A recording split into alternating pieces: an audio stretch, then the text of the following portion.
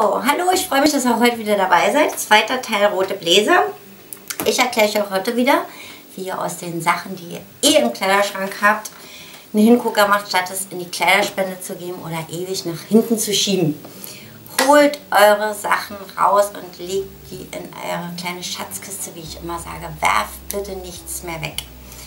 Macht euch eine Kiste fertig von allen Sachen, die noch super sind die viel zu schade für die Kleiderspende sind und dann macht was Tolles draus. Ich zeige euch in ganz, ganz, ganz vielen Videos, wie ihr aus allem, wirklich aus allem was Tolles machen könnt. Schmeißt bitte nichts mehr weg. Weder Textilien, noch Schuhe, noch Taschen, noch Gürtel, noch Dessous, noch Unterwäsche, gar nichts. Ihr könnt alles noch verwerten. Schaut in die Videos rein und schaut euch an, was man draus machen kann. Wir haben heute den zweiten Teil Rote Bläser. Einen Teil habe ich schon. Wir haben jetzt noch vier weitere Ideen gemacht. Und ich hoffe, ihr kriegt ein bisschen Animo, selbst noch was zu machen. Alle Sachen, die wir hier machen, sind mit der Hand aufgepeppt. Ihr braucht keine Nähmaschine. Ihr könnt das alles Stück für Stück nach und nach abends völlig tiefenentspannt, entweder alleine oder mit euren Freunden nacharbeiten. Ich zeige euch die Ideen. Zeige euch wirklich jetzt hier nur die Ideen, weil wir haben ein Anfängervideo drin. Das geht zwei Stunden, das haben wir jetzt zusammengeschnitten auf 20 Minuten. Alle Stücke, alles, was ich euch zeige, sind immer nur vier Schritte. Wie kriege ich die Sachen, wie stecke ich die an, wie hefte ich sie, wie brenne ich die Stoffe ab, die ausfransen und wie mache ich es mit Kreuzstich ran. Es sind immer vier Schritte. Seid so lieb und schaut euch das Anfängervideo an, das alles ganz, ganz pingelig genau erklärt, welche Materialien ihr verwenden müsst, welche Nadeln, welche, ist alles drin. Wenn ich das jedes Mal mal neu erkläre, dann dauern die Videos einfach viel zu lange. Okay, jetzt die Ideen. Roter Bläser. Achso, habe ich noch vergessen. Schaut mal, das ist übrigens die fertige Jacke aus dem Video Strick in Pink. Wer sich das angeschaut hat, so ist das jetzt fertig geworden. Habe ich fertig gemacht für euch mit den Wollaccessoires. Schaut mal bei Stricken rein, das werden wir auch ganz viel stricken. So, jetzt zurück zu den Bläsern. Das war ein einfacher roter Bläser. Schaut mal. Da war nichts drum und da war nichts dran. Der war süß gefüttert. Aber eben halt ohne irgendwas. Schaut mal. Und alles, was wir gemacht haben. Ihr habt auf allen Bläsern immer die Nähte die sind schon vorgegeben. Schaut euch mal eure Bläser an. Und diese Nähte verschönern wir einfach nur mit einem Kreuzstich. Das heißt, es wird einmal runtergenäht, einmal hochgenäht, wodurch dieses Kreuz entsteht. Ihr habt eine super Deko. Guckt euch das mal an. Das ist immer super tailliert. Alle Nähte. Schaut mal, hier vorne haben wir das auch gemacht. Seht ihr das? Einfach die Nähte. Guckt mal, wie ganz anders das schon aussieht. So, dasselbe könnt ihr an den Ärmeln, habt ihr auch immer hinten diese Mittelnaht, die ist an jedem Ärmel dran. Könnt ihr auch nochmal dekorieren. Schaut mal, mit welchen Farben ihr das macht, ist komplett euch überlassen. So, das heißt, das Einzige, was ihr dazu braucht, ist wirklich Stickgarne. Entweder holt euch hier die kleinen, wir haben hier weiß und blau genommen. Schaut mal, diese Strickgarne kosten wirklich ganz, ganz, ganz wenig Geld. Holt euch alle Farben und dann könnt ihr das so kombinieren, wie ihr wollt. Die nähen sich so toll und durch diesen Seideneffekt sehen die nochmal richtig nobel aus. So, und um die zu vernähen, sage ich in jedem Video, holt euch diese Zaubernadeln, Wundernadeln, wie auch immer die heißen, die gibt es in den Discountern. Entweder steht draus selbst einfädelnde Nadeln oder Wundernadeln. Kinder, ihr braucht nicht mehr einfädeln, das ist so optimal. Ihr habt oben Haken und klickt den Faden einfach nur rein. Ihr könnt hintereinander wegnähen. Auch die, die keinen Faden mehr eingefädelt bekommen. Holt euch diese Nadeln. Da passt komischerweise auch alles rein. Die sehen so winzig und klein aus, aber ihr kriegt sogar Wolle da rein. Glaubt es mir, probiert es aus. So, 1 Euro. Kann man nichts verkehrt machen. So, was wir hier noch gemacht haben, schaut mal, wir haben so Bänder geholt. Zeige ich euch nachher noch ein anderes Beispiel. So ganz dünne Bänder, die kriegt ihr immer von der ganzen Rolle, kostet auch nicht viel. Und haben uns so die Klassiker hier mal geholt Blau, Weiß, Rot. Passt auf so viele Sachen raus. Und dieses Band, schaut mal, wir haben nichts weiter gemacht wie das einfach aufs Revier hier raufzusetzen und anzunähen. Auch wieder mit dem Kreuzstich. Ihr habt immer noch mal rechts und links die super Deko. Schaut mal, und hier haben wir auch nur das rangesetzt von beiden Seiten Stück, haben was übrig gelassen in der Mitte, haben es abgeschnitten und haben Schleifchen draus gemacht. Die Schleifchen müsstet ihr noch mal einmal vernähen, damit die so bleiben, damit die nicht immer aufgehen. So, und genau dasselbe hier an den Ärmeln, schaut mal. Dafür haben wir vielleicht einen Meter von diesem Band gebraucht. Holt euch ruhig so eine ganze Rolle, ihr werdet sehen, irgendwo verbraucht das. So, und mehr haben wir hier nicht gemacht. Schaut mal, das ist dann nochmal von vorne. Und hinten haben wir nochmal so eine Deko eingesetzt, als wenn hier was wäre. Da war gar nichts. So zum Teil hier nochmal, auch mit Schläfchen wieder, damit der hintere Teil auch dazu passt. Und mehr haben wir da nicht dran gemacht. Und schaut mal, wie cool der aussieht. Hier haben wir noch als letztes i-Tüpfelchen auf die Knöpfe dieses Band raufgeklebt mit Heißkleber. So, dass alles wirklich super, super, super zusammenpasst. Und ihr braucht nichts weiter wie einen Bläser, den ihr im Schrank habt, diese Bänder, diese Stickgarn und die Wundernadeln. Das war's. So, das war meine erste Idee. Dann kommt die zweite. Schaut mal, war auch ein ganz einfacher roter Bläser. Wie viele Bläser sind noch im Schrank, die wir nicht anziehen, weil die einfach zu langweilig sind. So, was haben wir hier gemacht? Wir haben den Bläser mit dem Tuch besetzt. Schaut eure Tücher durch. So, schaut mal, wir haben so tolle Tücher. Die sind toll, aber wenn man die umbindet, so um den Hals, geht eigentlich das ganze Muster verloren. Die liegen im Schrank und man benutzt die gar nicht. Holt die raus und setzt die auf eure Bläser. So, egal welche Farbe, ich habe die in allen Farben. Hier haben wir ein rotes genommen. Schaut mal und haben das wirklich, ich mache das mal noch mal kurz auf hier, dass ihr das richtig seht. Ihr müsst die Tücher bis reinnehmen. Also ihr könnt es ja auf, aufs Revier aufmachen, aber wenn es aufschlägt, sieht das doof aus. Schaut mal.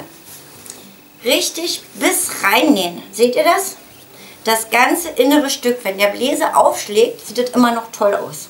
Wir haben hier auch wirklich den ganzen Kragen, schaut mal, außen und innen bestückt. Haben es auf das Rückenteil aufgemacht, gerade, seht ihr das, bis zur Schulter. Ihr habt die vorgegebene Nähte, wo es ran muss, immer vorgegeben auf den Sachen. Nur hier unten sucht ihr euch eine gerade Linie, wie lang ihr das haben möchtet. Ansonsten habt ihr immer die vorgegebene Nähte. Nutzt die. Und versucht nicht, das Tuch umzuschlagen und gleich vorne weiterzunähen. Kriegt ihr nicht hin, weil Seide ist nicht so einfach zu nähen, dass es wirklich so schön gerade sitzt. Macht einzeln. Trennt es hier oben ab, steckt es an die Schulter an, macht dann das Vorderteil und näht es dann erst zusammen. Ihr kriegt es in einem Stück nicht hin, glaubt mir, ich habe schon hunderte von Tüchern vernäht. So, unten genau dasselbe. Bei den meisten Gläsern haben wir es unten immer gerade gemacht, also einfach einen breiten Streifen geschnitten und den rumgenäht. Hier haben wir uns mal noch das so einfallen lassen und haben eine Spitze mit reingemacht. Fand ich cooler irgendwie. Mal was anderes. Wie ihr das rankriegt, alles im Anfängervideo. Ihr werdet sehen, das ist so einfach. Ihr steckt euch die Sachen wirklich nur rauf und näht Stück für Stück. Ganz langsam und tiefenentspannt. Kriegt ihr hin. So, ihr könnt es auch an die Taschenpatten machen, habe ich hier nicht gemacht. Ihr könntet hier noch ein Stück rannähen. Wir haben hier auch wieder mit dem Kreuzstich, was ihr bei dem anderen Bläser gesehen habt, wirklich alle Nähte gemacht. Der ganze Bläser sieht anders aus. Macht's einfach. So, schaut mal. Wir haben hier das komplette Revers gemacht. Ringsrum, auch unten. Haben die Mittelnähte. Ihr habt diese Nähte. Schaut euch die an verziert die Taschen oben und unten. Die Nähte von dem Tuch sowieso immer. Und die Ärmelbündchen unten. Und den hinteren Ärmel. Ihr habt immer diese Naht. Nutzt die. So. Ihr werdet sehen, ihr habt die vorgegebene Nähte. Und mit diesen dünnen Wundernadeln kommt ihr nicht ins Futter. Schaut mal, die sind alle gefüttert. Ihr kommt fast nie unten durch. Und wenn, ist es auch nicht so schlimm. So, hinten auch, ihr habt immer eine taillierte Form. Der Bläser, der sonst gerade geschnitten ist, sieht aus, als wäre er tailliert. Probiert es aus. So, Das war meine zweite Idee, also mit dem Tuchbesatz. Dann haben wir mal komplett Tuch gefüttert. Das zeige ich euch mal jetzt vor dem letzten Beispiel. Schaut mal. Anzüge. Den habe ich mal komplett, komplett, komplett genäht. Aber ihr könnt auch einen Hosenanzug nehmen, den, den ihr schon habt. Und eine super Idee ist, die zu füttern. Schaut mal, was wir hier gemacht haben. Wir haben den super mit den Tüchern gefüttert. Seht ihr das, wie toll das aussieht? Man zieht ja einen Bläser auch mal aus. Und das sieht immer cool aus. Einfach tolle Knöpfe, wenn ihr keine tollen drauf habt. Wir haben hier ganz tolle Chanel-Knöpfe. Die haben wir draufgesetzt und haben dazu passend dieses tolle Futter gemacht. Ihr könnt euch das auch nochmal angucken. Denselben Anzug habe ich in weiß, blau und in dem Rot genäht. Bei Chanel Weiß ist nochmal alles drin. könnt ihr euch nochmal ganz genau angucken. Ihr braucht ungefähr vier Tücher zum Füttern. Holt euch die, das sieht super aus. Und die liegen nicht mehr im Schrank. Wenn ihr nur eins habt, könnt ihr nur ein Mittelteil füttern. Schaut mal, wie irre das aussieht. Einfach mit Tüchern gefüttert. So. Das war meine dritte Idee. Also die Knöpfe, auch wenn ihr Sachen habt, wo eigentlich nichts mehr drum und nichts mehr dran ist. Aber da sind tolle Knöpfe dran. Macht bitte die Knöpfe ab. Macht euch eine Knopfkiste. Irgendwann braucht ihr die nochmal. Ich mache mir die immer so mit dem Fahren alle zusammen, dass ich ein Set habe und dann weiß, wo die hingehören. Schaut mal, hier haben wir so viele Knöpfe verbraucht. Die waren an einem alten Chanel-Kostüm, an einem anderen Chanel-Kostüm dran. Aber nicht wegwerfen. Aufheben. Die sind so super Qualität, die rosten nie. So, das war die dritte Idee. Und dann habe ich hier noch eins. Das war ein langer Bläser und ein langer Rock. So. Und diesen Bläser haben wir einfach unter der Brust, also mittig hier, messt ihr euch aus, abgeschnitten, abgerundet und haben eine kleine Bolero-Jacke draus gemacht. Aus einem langen Bläser. Schneidet die einfach ab. So. Schaut mal, und genau der Rock. Wir haben den Rock einfach gekürzt. Haben den kurz gemacht und haben was Poppiges draus gemacht. Und damit es nicht ganz so langweilig ist, schaut mal. Hier drinnen seht ihr das auch, das sind Einsätze. Das ist ganz normales Geschenkband. Schaut mal. Kriegt ihr für einen Euro in den Discountern. Dieses ganz normale Band setzt ihr drauf. In irgendeiner Farbe. Kann alles mögliche sein. Und dann haben wir dasselbe Band gehabt in grün Gold und haben das nochmal auf die Seite gesetzt. Alles mit der Hand. Seht ihr das? Ihr setzt die Seidenbänder einfach nochmal ab mit Baumwollband. So. Und dann könnt ihr euch, wenn ihr möchtet, so wie ich das hier gemacht habe, Sticker holen zum Aufbügeln nicht aufbügeln, bitte annähen, damit die auch nach dem Waschen halten. Die kriegt ihr auch, die sind zum Bügeln. Die könnt ihr rauf machen und dann geht ihr noch mal einmal mit der Nadel rum. Gibt es in jedem Großverladen. Wenn ihr möchtet. Das habe ich noch als kleines, kleines dazu gemacht, weil ich hatte die Knöpfe mit dem Anker. Und dazu passend habe ich dann einfach nochmal in die Ärmel, sieht aus wie so ein kleines Marinekostüm. Aber total süß angezogen. Und war ein langweiliges rotes Kostüm, was ich im Schrank hatte. Also schmeißt eure Kostüme nicht weg, sondern peppt die auf. So, seht mal, hier habt ihr einfach nur an der Seite. Der ganze Rock sieht komplett anders aus, wenn ihr das in die Seiten... Ihr trennt einfach die Seiten einmal auf und setzt diesen Streifen mit rein. Dann habt ihr aus dem Rock, wo nichts dran war, ein Set mit dem Bläser, was super aussieht. Probiert's aus.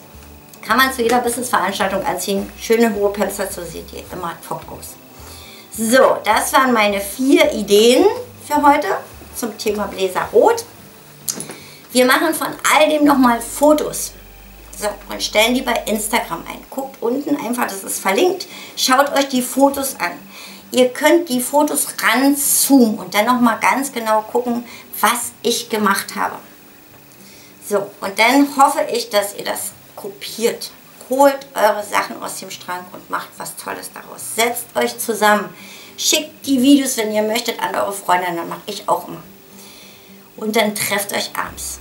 jeder bringt irgendwas mit. Viele, viele Köpfe haben viele, viele tolle Ideen. Man hat einen tollen Abend, man trinkt was, man plauscht und macht, macht nebenbei Handarbeiten. So, und ihr könnt euch so aus euren Sachen, die ihr eh schon habt, tolle Sets machen. Wir haben ganz viel drin, wo passend die Handtaschen dazu sind, passend die Schuhe. Schaut euch das an. Ihr könnt wirklich aus allem was machen. Schmeißt bitte nichts mehr weg.